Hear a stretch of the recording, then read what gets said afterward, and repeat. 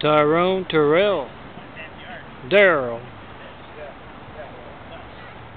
and several other parasites are huddled together in this little circle as this street justice video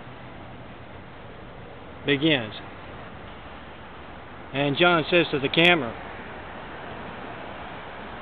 goes back and forth between him and these parasites. He says to the camera, this is a message video for the Parasite PR campaign, the Barack Show,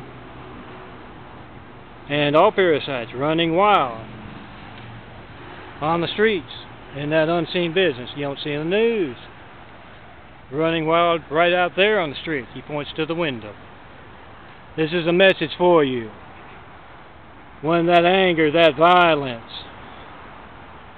that hatred of yours spills over into our world, Military Pitbull Project will make sure that this is the last train you ride on. The last Barack's train you ride on before decades of whisper death pain as an example for other parasites not to do what you do. And that camera looks downward to a little toy train circling these parasites who are killers, rapists, violent people.